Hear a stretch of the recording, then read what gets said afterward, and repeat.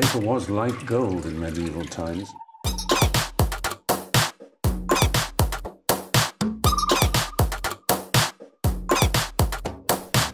Oh, not tobacco, sugar.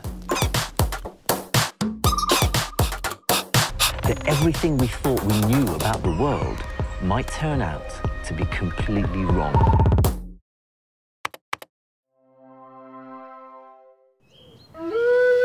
This is the Valley, a vanished world from a forgotten time. Here on the Welsh borders, a farm is being run by five hand-picked experts as it would have been nearly 400 years ago. Using only resources available in the year 1620, they are laboring for a full calendar year, turning the clock back to rediscover a way of life from an age gone by.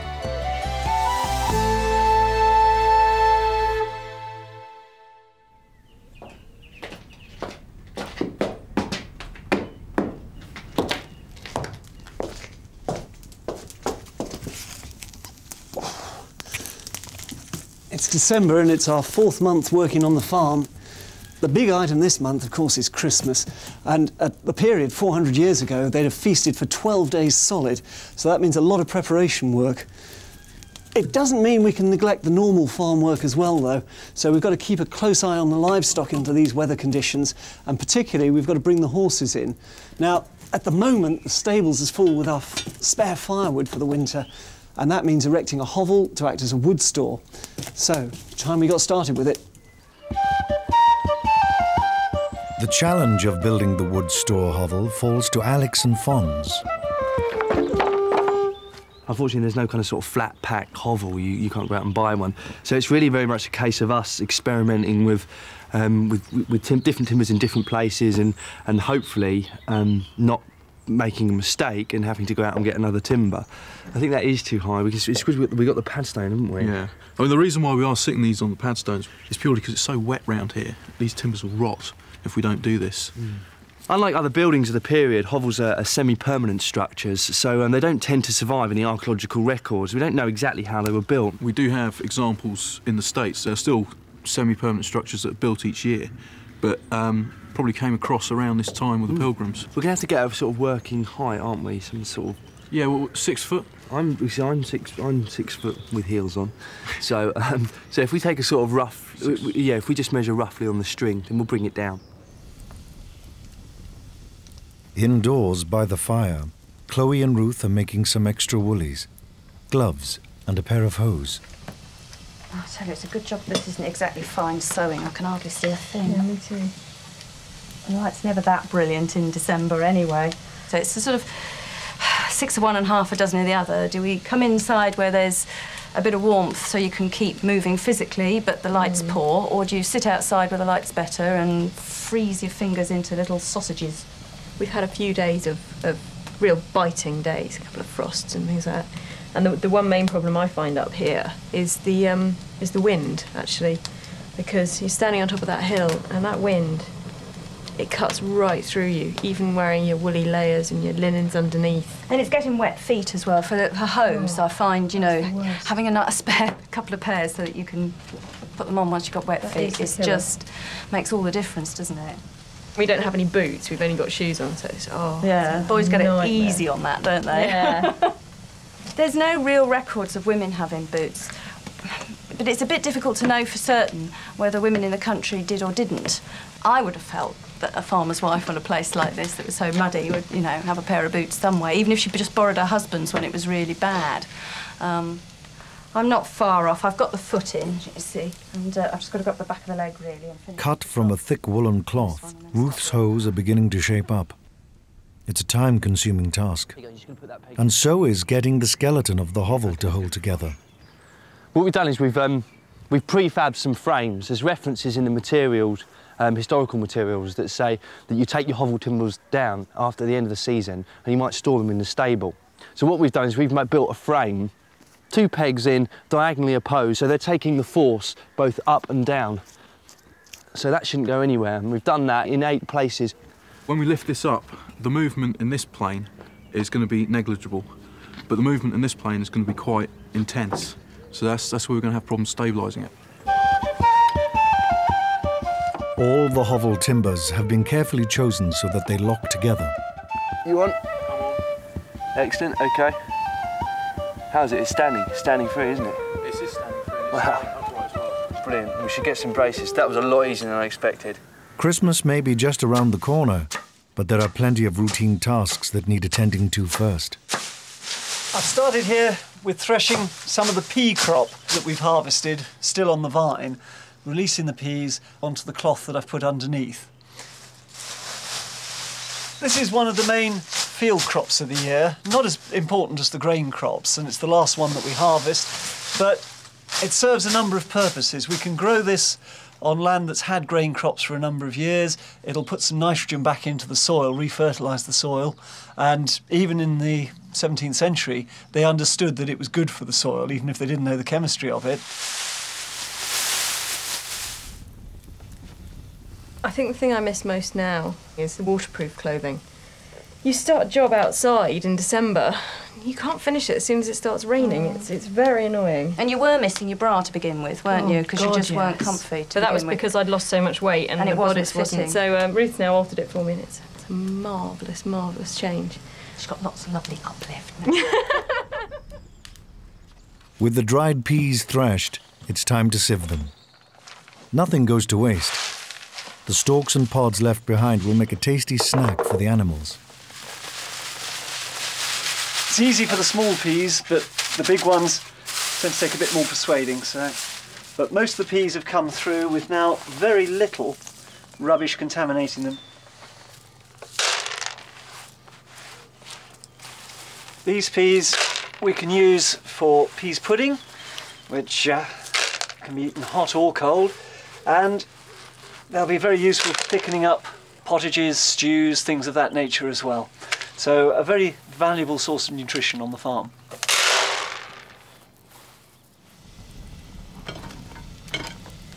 They're really interesting, the clothes that survive, and I, I find it really rather exciting when if you're allowed to get close to a piece of clothing that was on somebody 400 years ago. I mean, just how much more personal can you get than to, than to pick up a garment that somebody else wore? And you can see, like, you know, you can see like the sweat marks on the collar, and you think, you know, that's real contact with the past, isn't it? You know, mm. that's not dry book learning, that's up close and personal. You can see exactly, just by just by the way that we're wearing them, exactly how it would have worked. They do in- actually work, don't They they? do They're work. not. They're, They're not costumes. costumes, They're clothes. Yeah. And you know, it's not about looking pretty or looking silly or anything. It's about being warm, being covered, being protected from brambles, Yeah. being you know kept out of the rain. It's about living outdoors with no heating apart from the occasional fire, and doing this sort of physical work, isn't it? Absolutely. Look at that. With the front central strut added, the hovel appears to be rock solid. The showpiece timber has worked really well. And the idea is with the braces here is just to stop that movement. So we'll put someone at the back, and I, I- you know, I'm, I'm fairly sure this is not. But you can, I mean, look at that. I'm giving that quite a shake. The, pa- The pads don't. They need some. Uh, they're wiggling a bit.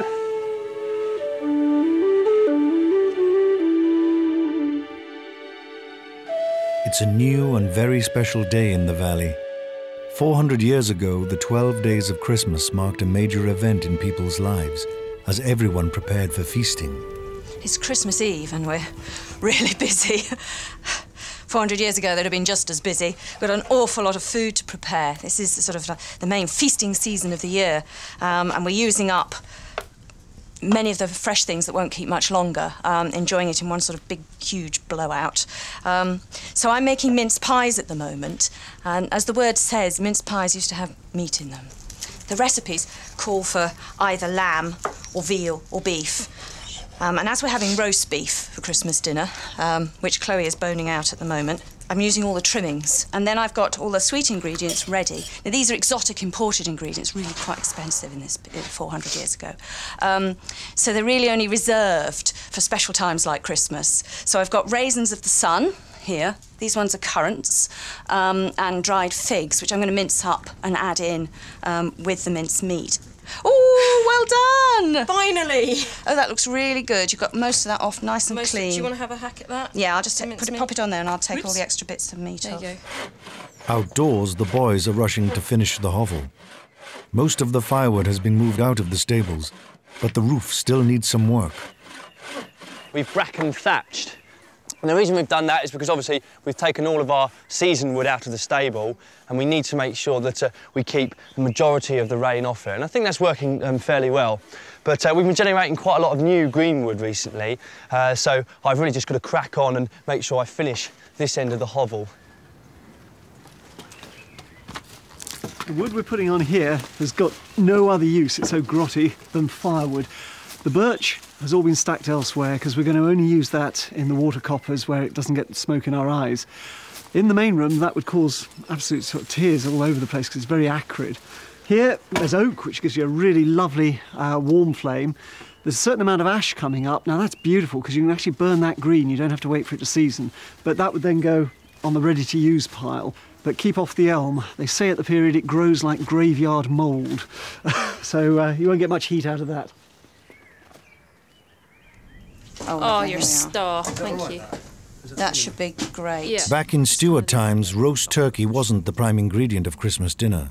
Goose was a common favourite. Oh my God, that's And in a well off farmhouse, beef was often the centrepiece. In the 17th century, spices like cinnamon and pepper and nutmeg and so forth all had to come from the Far East in the most amazing trading voyages, and as a result, they cost an absolute fortune. Got some mace here, which is the covering that you get around nutmeg. I'm going to pop a little bit of that in.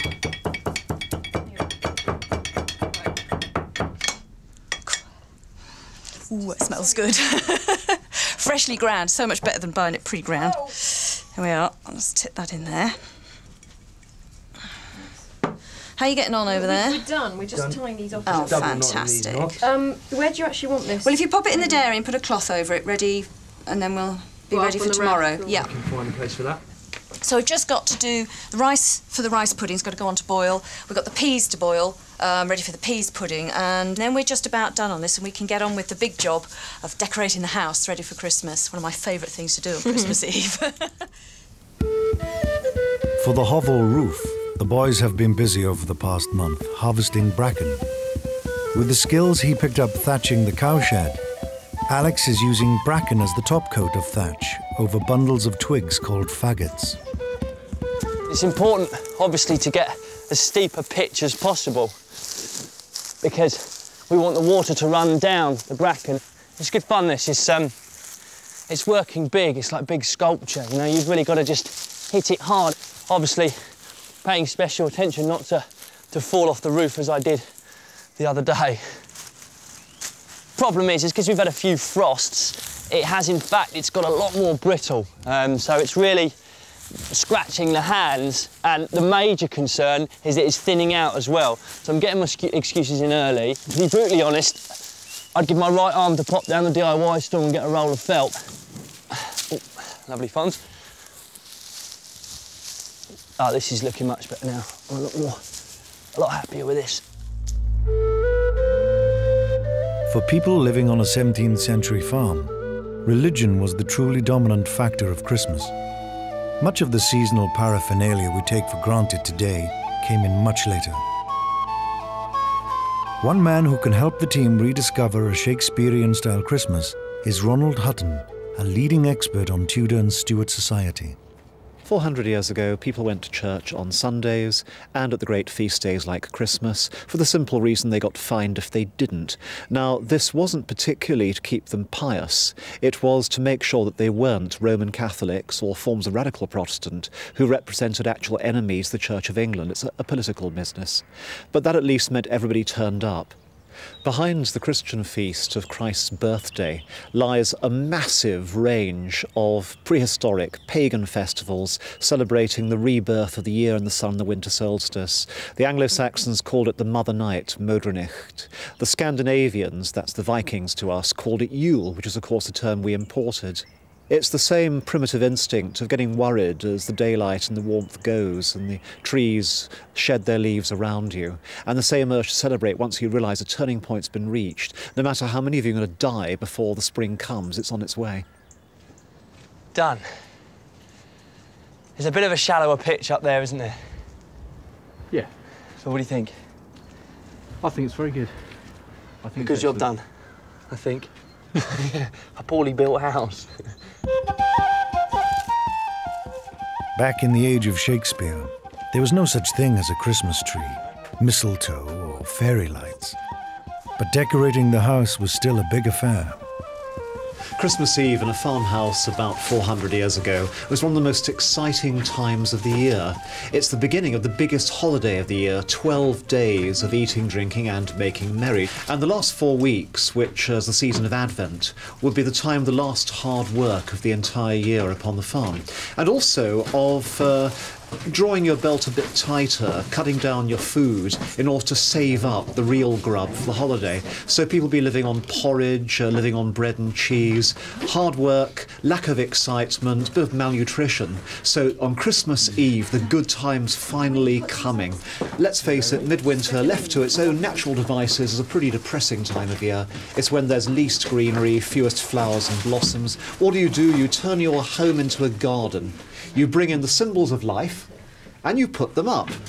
Holly and ivy, are the obvious favourites, they're most common, but also they've got rosemary, wonderfully scented. Wow.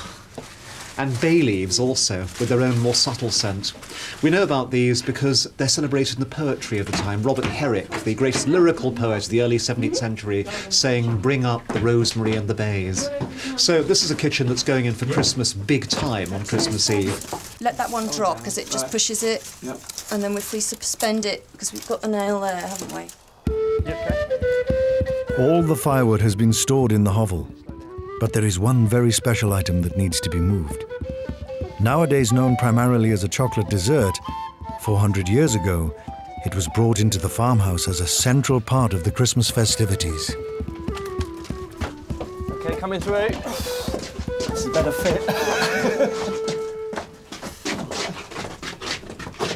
Wow. The Yule log is the exact 17th century equivalent to the modern Christmas tree. It's equivalent because, like the Christmas tree, it's just come in from Germany. The Christmas tree arrived in the 19th century, the Yule log probably in the 16th. Just as everybody naturally gathers around the tree these days, everyone gathers around this gigantic log in the burning hearth in the early modern period. And getting it here is a considerable physical feat in its own right, requiring all the lusty men of a household. And having made the struggle to get it here, traditionally they're welcomed with hot spiced ale. There's a poem which goes, Bring with a cry, jolly jolly lads, the Christmas logs the firing, while my good wife, she bids ye all be free and drink to your heart's desiring. Yes, please. Here we go. You deserve this after that. That's enough. Let's stop. okay, gentlemen, let's give this some hobnail.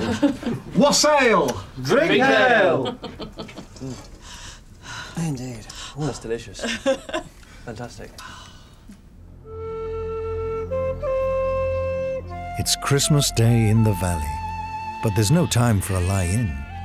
Before preparations can begin for the big feast, the animals still need to be tended to, and the fire lit early so it's hot enough to spit roast the Yeah? beef.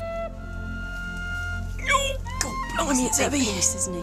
So much easier with a piece that's boned out. Beautifully boned out. Beautifully boned out. Is that on? Yeah, I think that's That's it. it. Starting to wrinkle a bit, isn't it? Yeah, here we go. Oh, careful with that spike. Sorry. In order to make sure that it cooks nicely and stays moist, we shall keep basting and dredging right through the roasting process alternately. So you put on a baste, give it 10 minutes or so, and then dredge it with breadcrumbs. Um, and it'll build up a crust around it which seals all the juices in, makes it really tasty. I have to say, oven roasted meat, and got a thing on spit roast meat, as long as you do it properly. With the beef slowly cooking, Chloe and Fonz can check up on the livestock. Some of the cows in the valley are pregnant, and the team are keeping a close eye on them. One is looking especially close to term, the leader of the herd, Duchess. She's looking huge, but we're not too worried about her because she's had plenty of calves before and uh, she shouldn't have a problem with this one. She should, hopefully, just drop it in the middle of the night and we'll come down one morning and find it sitting there on the floor next to her. But we are going to supplement her diet um, with basically a high protein feed that we're going to make up from things like turnip heads, rolled barley, and then we'll start the battle of pinching the milk. Yeah. Yeah. The Duchess is a big cow. I mean, she's had so many calves over the years that she's got sprung ribs. So uh, it makes her appear pregnant all the time, actually. With the beef roasting well, the team can get on with the other dishes. Stuart is making a period style chicken pie. How's that water doing? Is it 400 years ago, chicken wasn't a very common meat, so it would have been a special treat. We know that on this farm, part of their rent was to pay a fat hen at the Feast of the Circumcision, which is the 1st of January. So they definitely had chicken around at the time, and it's Christmas, so hey, if they had a spare one, they probably went for it and had one themselves. Now, I need to mix the first layer of the pie, which is the dried fruit. And we've got raisins. Now, we know they were importing these from places like Malaga. I've seen account books from the 1630s for a farmer on Anglesey where he trots off usually about mid December, and raisins are one of the staples he buys year after year. Are we ready on the pie case? Uh, just about, yeah, Just about. then. This is the base layer, fills in there. Now, to keep the flavour really rich and sumptuous, although it's not actually an expensive ingredient, plenty of butter. This will just melt and soak into the dried fruits. And we then add in, let's hope it's going to fit. We're going to pop some more butter on top, otherwise it'll all yeah, dry we've got the spices to go on top as well. a Bit Right. more dried fruit. Sort of conspicuous consumption, really, this, isn't it? Most of the year, all the food is really very local. But uh, this time of year at Christmas, you know, you're sort of bringing in foods from all over the known world. Like many pies of the time, the casing on this one is disposable. It's the goodies inside that are all important. I think these cows are doing remarkably well overall. I think they're, they seem very happy. They're an incredibly friendly little herd, actually. They've really bonded as a herd. I mean, Yeah. Duchess is the leader. Oh, yeah. What she says goes, really.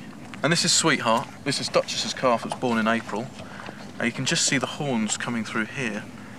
I mean, I was always under the impression that male bulls had horns. Watch it, But apparently, it can be either sex, and the calf will have horns if the mother did, or if the father did. I have come to like cows. I mean, they're docile animals, and so am I. And um, we got on very well. It took a little while. I mean, I was a bit apprehensive at first. I mean, they are big animals, but they are very, very gentle. I had one major problem with this cow. I was feeding her, and she thought I was definitely not feeding her enough. And she turned round, and uh, I got the, the end of one of those right between the two big muscles on the side of my thigh. Um, had a bruise for about a month after that. The crust of the beef is building up well, but it's not just hot dishes that the team are cooking up for dinner. One of the other special dishes we're going to do for this meal is a grand salad, uh, aping what the gentry would eat on a regular basis for their feasts. Now, the core of the grand salad, and it's going to be a bit like a bullseye with concentric circles, we have a mixture of dried fruits. Into the pot go some olives, almonds, some chopped figs, and lots of currants.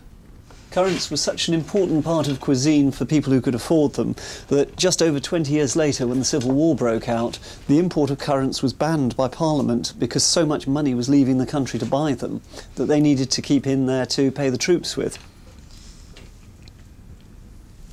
There we go. Not the neatest of jobs. Hang on, just pinch him round. This pie looks about done. Yeah, it looks really good. Chloe, couldn't take that out and pop it in the next to the bake oven, would you? Yeah. Thank you.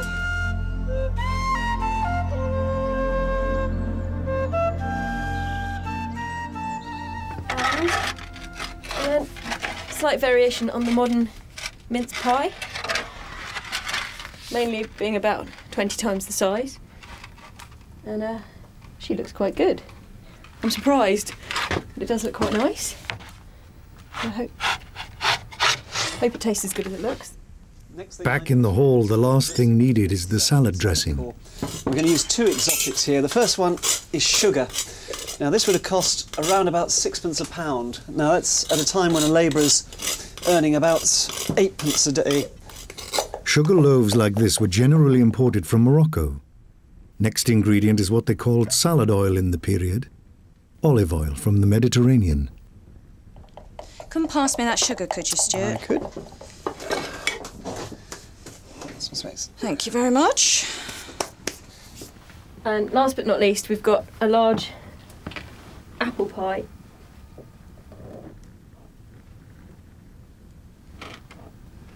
There we go. I'm going to take this straight out because it's actually quite hot. If you look at gentry menus, you find that many of their dishes are purely for display, and the appearance and the layout and the colour in a dish like this is in some ways almost as important as the flavour. Um, I suppose if you had it on a daily basis, you'd be showing you had all this spare labour, wouldn't you? All this time that you could just let your servants go and do useless prettiness as opposed to doing useful work. and for people like this, it's just nice to have pretty food once or twice a year. To drink with our Christmas dinner, we're going to have lamb's wool, which is beer, and um, you put apple in it and then let the jug sit by the fire and just warm through so that the flavours mix a little bit. Is it just apples in there? Yeah, it's just apples. And I think we just need something to top this up. A sprig of rosemary.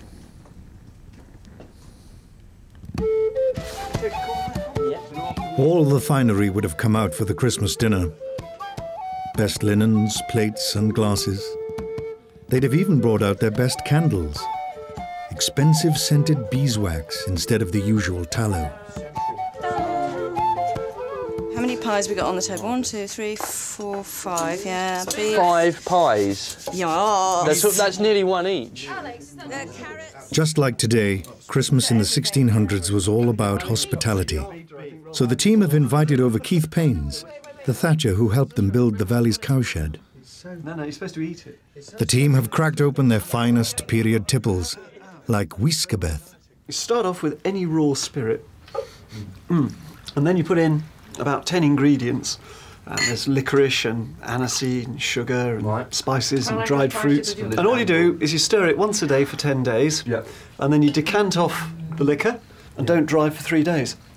Cheers. Cheers. Cheers. Happy Christmas. Yeah. Cheers. Well, a Merry Christmas. Indeed. And a Happy New Year. And a, and a is it? successful first four months, I think. Yeah, it's not gone bad, is it? Yeah, yeah, fair play. Cheers. So is it what? Oh, wait, wait, what, wait, what's wait. ale? What's Oh, what's ale? Drink ale. Drink ale. Drink ale. Or indeed, what's that? What's ale? What's ale? I think you can pay me for the thatching with this. So this is the mincemeat pie. This is the mincemeat pie with real meat in it. Can I try a little bit of yours? I'm not sure if I want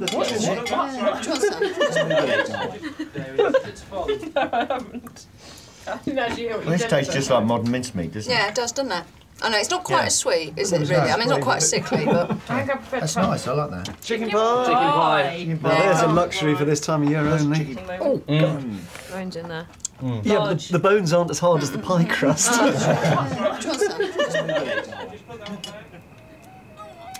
Oh, yeah, muscles, muscles. Who did that? Did Fonzie crush in his hand? Yeah. Oh, did he? Hey, I got it right. I got it right. Take time for the ball. Yes, head in hand, bring eye, I etc. present Arthur. That deserves a round of applause. Fantastic. So this is uh, mm. a. It's March paint, you know, almonds and sugar. Takes mm. hours. So what do we do? Just Eat him. Fonzie's got the pig's ears. Alex didn't seem to have too much. my nose, my nose. I'm gonna, I'm gonna have the other ear. Will merry, merry be, in spite of all our woes. And he that will not merry, merry be, will pull him by the nose. Let him be merry, merry, merry there, while we're all merry, merry here. For who shall know where he may go? To be merry another year, brave boys. To be merry another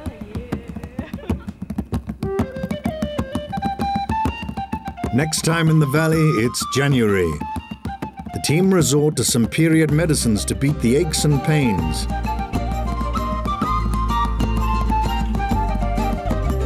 They stock up on winter wood supplies. And they get some surprisingly acrobatic help with hedge laying.